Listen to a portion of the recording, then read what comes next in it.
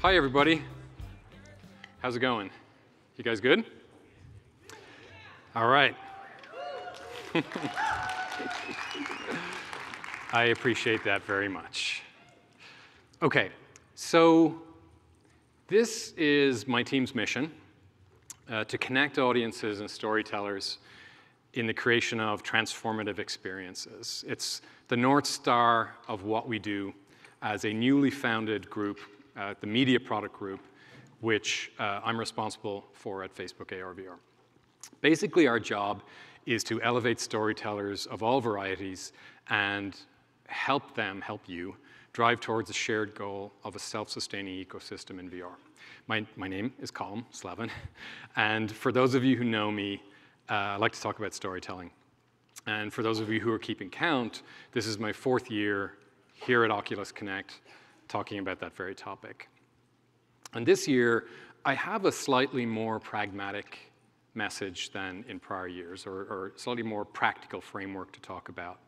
So um, why less poetry? Well, I do have a little bit of poetry at the end, but mainly the thing I wanted to talk about was I'm and my team, I and my team are, are really excited about the future for storytellers, more excited than we've ever been.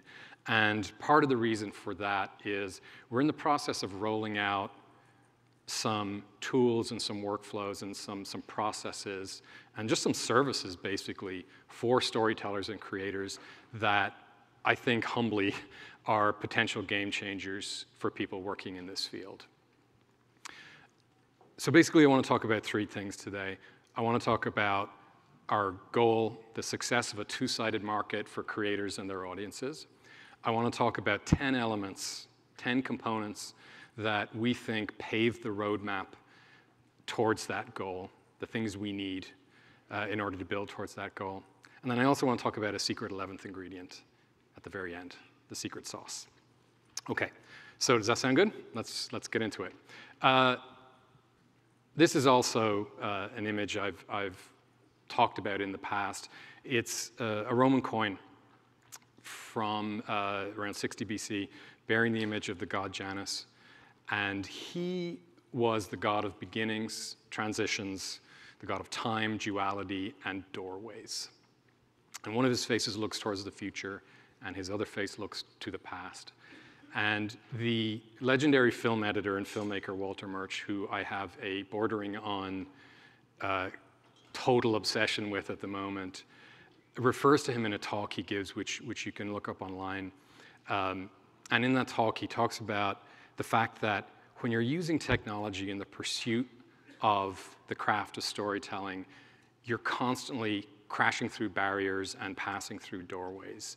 And for me, over the past year, certainly since OC5 when I first stumbled on this, this symbol has been sort of pinging around in my head a lot to remind me that while we're in this liminal space of the importance of balance, that while we're forging a path to the future, which you all are doing, it's important to keep the past in its appropriate perspective as well. So we're, uh, we're focused, my team and I are all focused on the growth and evolution of VR and AR as a storytelling medium, on the establishment of media as a first-class citizen in the ecosystem, and, as I said, on the creation of a viable two-sided market for creators and consumers of media alike. So our work is all about balance, as I said, a balance between the past and the future, a balance between storytelling and agency, which, as you guys know, is a common theme in a lot of the presentations and talks and conversations you get into here at OC6. And specifically germane to the conversation today, a balance between creators and consumers. So this notion of building a two-sided market requires us to strike a particularly delicate balance as creators and their audiences, we believe, are sort of fundamentally in this state of symbiosis when things are working as they should. So the shared destination that we keep talking about is ubiquitous adoption of the medium, right? That this is everywhere and this is how people consume entertainment and stories and experiences. And experiences specifically, games, media, stories, applications, are central to this strategy. And with the formation of the Media Product Group, we're making media narrative central and first-class citizens. So whether you're a civilian with a smartphone or a 360 camera, or you're a professional creator and producer, we place you as a storyteller at the center of our universe. However, the, the challenge that we're collectively facing is that media and storytelling as an experiential ecosystem is immature. And it's in a fundamentally more nascent state than its gaming counterpart. I think that's inarguable. So what we've done is we've worked really hard to break down a roadmap for success into a set of key elements that have to be robust, they have to exist, they have to be robust, and they have to be in balance. So what are those elements? Okay, so this visual of a staircase is how I like to think about the basic components that we think are necessary for the growth and flourishing of this media and storytelling ecosystem. And what I want to do is I want to talk about the overarching philosophy we have on this notion of a two-sided market, and also to give you guys our take on the state of play of each of these elements. Because the fact is that these components are not all created equal. They don't all necessarily matter to the same degree as, as each other. And also, they're not all in a common state of maturity or health, right? They're, in some cases, we're at a very solid maturity level, whereas in, others place, in other places, things are either entirely non-existent or, or they're emerging. So that informs the level of effort we have to invest in each of these uh, areas, as well as the time it might take to build a particular muscle. But this basically represents a sort of a mnemonic for us on the media team that we look at. And if we're not tackling one of these problems, we ask ourselves, why are we doing it? Our mission and goal is to create an ecosystem where creators are making things and making money, and audiences are consuming things and happily reciprocating by paying said money. So slightly less flippantly, we want to create a world where storytellers can be profitable with immersive media in a self-sustaining cycle, and audiences can enjoy a diet of fresh, delightful narrative experiences on a steady cadence.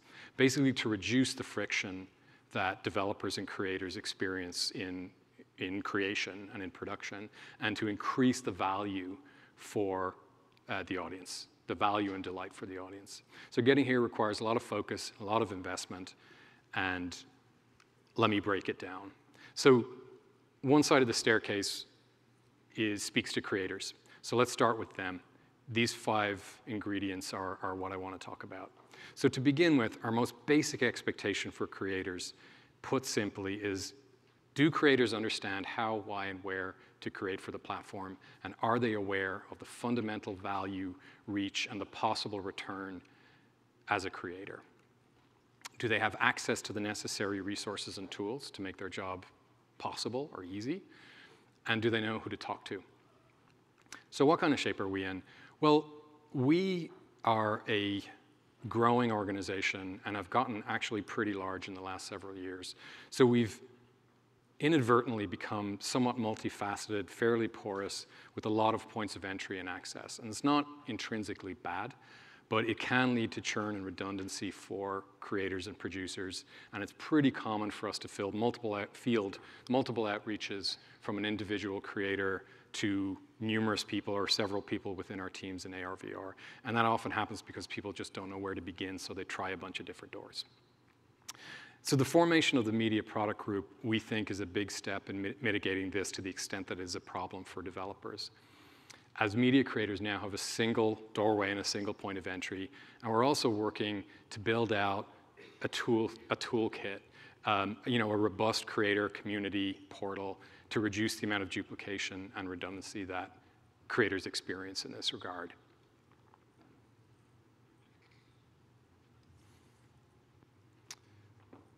So the types of tools that we use to make experiences, to produce and, and launch experiences, exist, I guess, on, on two ends of, of a spectrum or two ends of a pipeline. At one end, you have creation tools, and at the opposite end, you have publication and distribution tools, which are both in, entirely essential for, for creators. On the front end of the pipeline, when it comes to creation, creators have to have ready access to robust tools best practices, documentation, and workflows. Bless you. Uh, that is the dream. Uh, the truth is another story, as, as many of you know. It's a tough area.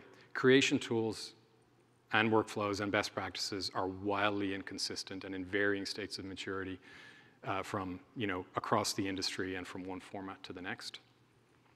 If you're working in a real-time engine, whether you're a game developer or a creator or developer that just works in real time, you're more likely to be working with a mature suite of industry standard tools and processes. Whereas on the video side, it's much more of a frontier. Shooting, stitching, editing, color grading, uh, you name it. Uh, all of these represent a massive array of choices and complexities for, for creators once they get in. And uh, it can be, it can be, it can, it can mire people in decision making, but it can also lead them down a bad path that is very hard to come back from. So how do we help? One of the things we're doing is essentially we have an internal test kitchen, if you like, within our media organization, within our team, that's comprised of prototypers, but also really talented creators, um, filmmakers, producers, and people who have deep experience in the creation of experiences. And what they do is they prototype and design hypothetical experiences, document and share best practices and workflows they've tested, and ultimately, and I'll share some of these a little, in a little bit with you, develop role model experiences in partnership with creators to sort of validate the hypotheses we might have about a specific format or, or a specific experience to demonstrate the best approaches available. So at the other end of the pipeline, when it comes time to launch, when it comes to uploading and distributing your experience, a mature and stable ecosystem has user-friendly and dependable tools for ingest, upload, marketing, distribution, trailers, everything, you name it, for AR, VR media experiences. It hasn't been the reality for creators. The truth is, it's been a painful process. The process for launch and distribution of uh, narrative and media experiences has been brittle, slow, and fragile. The good news is we've been absorbing this feedback uh, over a, a, decent amount of time, and we've heard it from creators loud and clear, and we think we have a fix. Uh, and it's something that the team talked a little bit about in the keynote, but our team has built an application we call Media Studio. So Media Studio is a very fully featured online VR-first media asset management and publishing system. It enables creators to manage, share, and analyze their content. And it's a massive tidal shift for creators who've been accustomed to dealing with media in the past. You know, it allows you to create discoverable instances of your experiences on 2D surfaces and then view them in VR. It allows creators to build profiles to curate their experiences for dist distribution. So this is one that uh, we've announced that we're launching and is coming out and will be available to everyone. But I'm particularly excited about this, this tool and this product because it addresses a very specific logjam and a very specific friction point for creators. And if it, if it performs in the way we intend for it to perform, it will open the floodgates for creators to show up on the platform in a way they've been unable to do in the past because it's just been such a sticky process. So knowledge is power, and the availability of data and the ability of creators to respond to data is a tremendously powerful tool. And as part of the Media Studio suite, uh, we will provide, we'll now be able to provide a set of reliable headset consumption metrics to media creators, average watch times, views, et cetera, et cetera. But basically, orders of magnitude more data than media narrative creators have ever had access to in the past.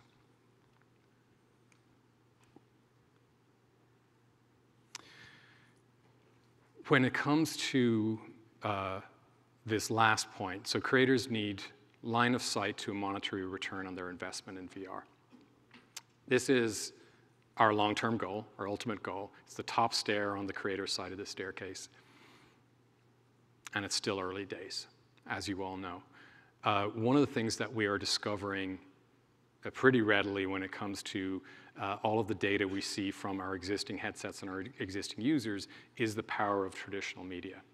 So our content strategy going forward is to bring audiences onto the platform with the familiar, an offering of brands and media that they know and love and are gravitate to uh, because they're high quality and they're, and they're recognizable brands, but then to surprise them with the unexpected, to surprise them with innovative, immersive experiences that sort of present this VR specific value proposition.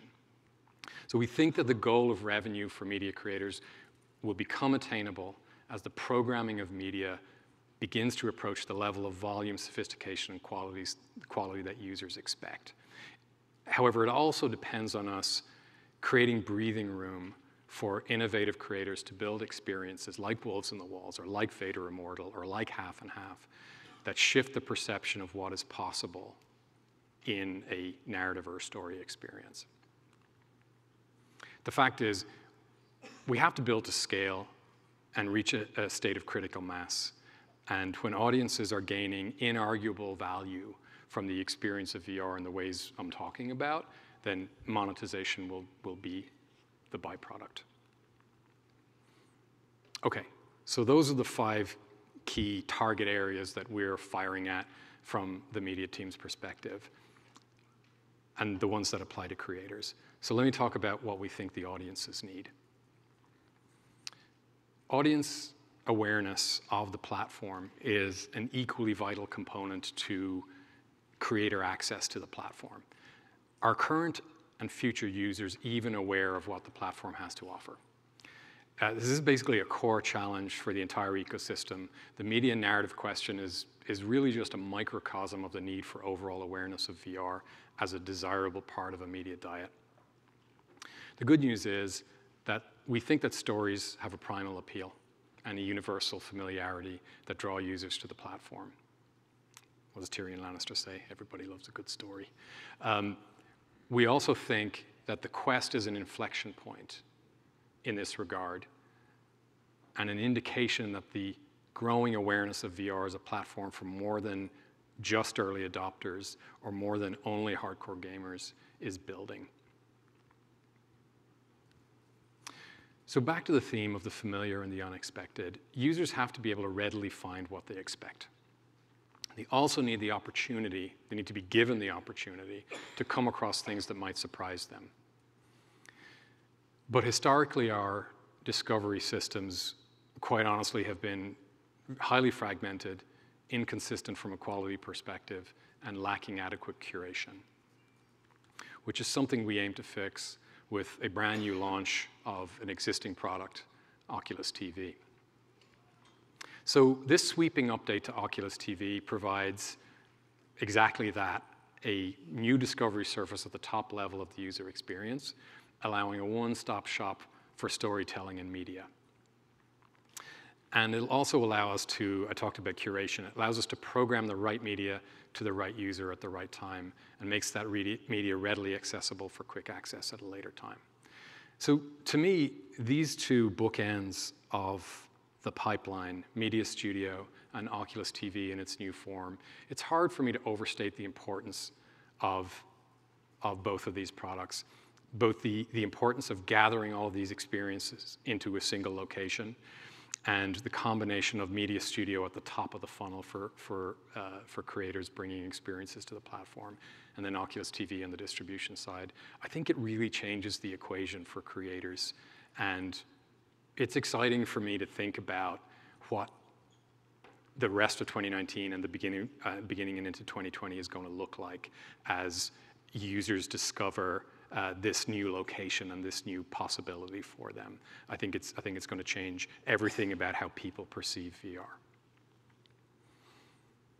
So experiences obviously couldn't be more critical to our audience. Uh, our goal is to satisfy that need. Our goal is to deliver a steady cadence of diverse, high quality experiences across a spectrum of formats. And to begin with, as I mentioned earlier, naturally we want all of this top-notch, great 2D media that audiences expect to be front and center. When audiences enter VR and they're greeted with the brands of media that they know and love, that is a that is a good feeling, and that is, something that will bring people into the platform who may be who may not be early adopters, who may not be comfortable with the level of friction that some of us are. And then in addition, our goal is to surprise them with the unexpected, with innovative immersive experiences. For instance, the immersive painterly experiences that are possible in Quill. So we, we love Quill and we love the Quill community. Uh, this example is Four Stories by Nick Ladd, and it's another example of one of these VR-only possible experiences. It's a magical immersive narrative where you have to essentially sort of circumnavigate the building uh, in which the story is playing out to really understand all sides of the story that is happening. Or the really beautiful illustrated impressionism of Remedy by Daniel Pajcik is just gorgeous. The diversity of the styles possible through this tool never cease to amaze me. Or visit Adam Savage and his crew of artists and makers in their intimate workspaces and workshops in this new application we just launched re recently uh, alongside with the Tested team called Tested VR. And you can get up close and personal with him and his team in a way only VR will allow. This is a good example of one of the things I mentioned earlier, where our team, where Eric Chang on our team worked directly with the tested team uh, to figure out what's the best possible experience in a 180 VR uh, scenario. And we thought about intimacy, we thought about access, we thought about resolution and detail. And that was the result in tested VR. And, the, and uh, what we're seeing so far is, is, uh, is really striking. Ascend to the roof of the world in vivid resolution with Jonathan Griffith, who's sitting over there. Hi, Jonathan. Um, Alpine Adventures Everest VR, not for the faint of heart, and not for me, because it terrifies me. Um, or experience the powerful Emmy-nominated documentary from Roger Ross Williams, Ayesha Nadarajah, and Felix and Paul Studios, Traveling While Black. And if you'll allow me, I'm just going to play this trailer. The Green Book was a guide for African Americans to travel safely, to find shelter, food, and gas in a time when these basic rights were not guaranteed. Every trip through America for a black person during those times was potentially fatal. The assumption is at some time it stopped. And that's not the case. It never stopped. I am feared, really frightened for black men traveling while black. I wonder when does it end? If you haven't seen Traveling While Black, please do. Um, I, I, find this to be, we worked on this project for many years. Elena on our team drove it along with the New York Times OpDocs team and Felix and Paul and Roger. Uh, but no matter how many times I see this experience, I never fail to be moved by it. Uh, it, I think, fulfills one of the fundamental promises of VR, that it transports you somewhere that, to a time and place that you couldn't otherwise visit. And then it engages you in a conversation that you may otherwise never be privy to. And in doing that, it shifts your worldview basically through the power of human empathy that's only possible in VR. And you, you all should see it. It is truly remarkable. So basically, the experiences that, like these examples that I've just sort of touched on, are, you know, they're the reason we're here, and they're the reason we do what we do. Creators and the art they make are the beating heart of this medium. There are so many amazing magical experiences out there and again, I'm excited to have them all in one location, and I think it changes the game for the ecosystem and for creators. Okay, so once people are in the headset, to a large extent, it's all about programming. Uh, once people have made the commitment to visit our world, it's incumbent on us to give them a reason to stay and a reason to return. So stories and media, I think, are the best reason for people to return habitually to a platform. And one of the things we're working on is a very extensive programming calendar to fulfill that expectation. In addition to helping people build a habit where they want to put this thing on their face every day and consume stories and, and experiences. They also have to be able to easily share that content with others, both in and out of the headset. It's a, that is a, a, uh, a base level expectation as well. Okay, so the last item on the so this side of the equation, uh, on the consumer side of the of the staircase, is in you know will people spend? The flip side of monetization goal for creators, the top stair of our consumer staircase. So the frank reality is we've done a pretty good job um, collectively as a, as a, as a people uh, of training users that media should be free. However, I honestly believe that if we invest in the ways I've been talking about, invest in quality, invest in programming, invest in diversity of content, we expect people uh, to see value and to be willing to invest their time. The bottom line is that audiences will pay for value, for true value, and that's our job. It's incumbent on us as a platform and on us as creators to provide that value across the whole spectrum of offerings that we have. Okay, so those are my 10 things. And, you know, as I said, this is the framework we're using to basically interrogate our priorities and to basically think about what are we tackling? Does it solve one of these problems? If not, why not? And uh, it's a fairly simple plan. I've, I've, I've, I've made this as uh, I've made this sort of elementary, mainly for my own consumption, and we think it paves the way towards the possibility of a self-sustaining ecosystem, because we fully believe in this notion of a symbiotic relationship between audiences and storytellers. On a related topic, I, I want to highly encourage you to check out another couple of talks today. Uh, my brilliant and talented colleagues. Uh, first of all, with immediately after this session, Eric, Asad, and Abesh will be talking in a lot more detail about the whole life cycle of ideation, creation, design, upload, and distribution. Uh, everything from soup to nuts uh, in deeper detail, obviously, than, than I've talked about today. And I highly recommend that because it sort of shows you, you'll see the three key people on our team who are charged with, with building that pipeline and what they're trying to do for creators. And then on the other end of the spectrum, you'll see the two coolest college professors I've ever seen, Yelena and Clint, talking about the impact of immersive design on emotion.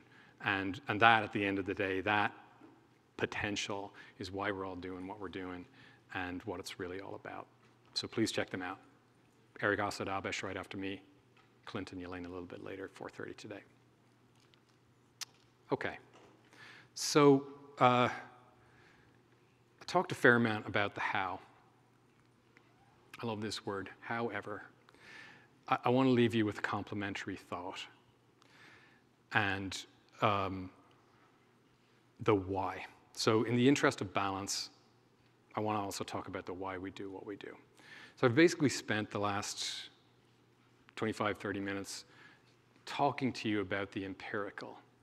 And, and that's, to a large extent, our day in, day out. We get really focused on what are the features necessary in a product in order to achieve a result? What are the value propositions necessary for a user in order for them to retain or engage on the platform. The empirical is what fuels everything for us. And these 10 elements I've talked about are a set of empirical components that we think represent a potential formula for shared success. But I omitted a key and, and, and more ephemeral element. And I also think that there's this error we perpetrate incessantly in our community and certainly in our, in, in, in our industry. And that error is to bifurcate or separate the empirical from the creative. And I think that's a mistake.